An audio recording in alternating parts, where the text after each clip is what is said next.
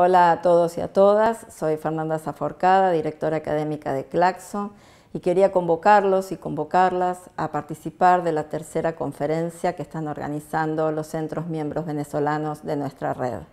Eh, el tema de la conferencia es Venezuela desde las ciencias sociales y humanidades, interpelaciones y horizontes.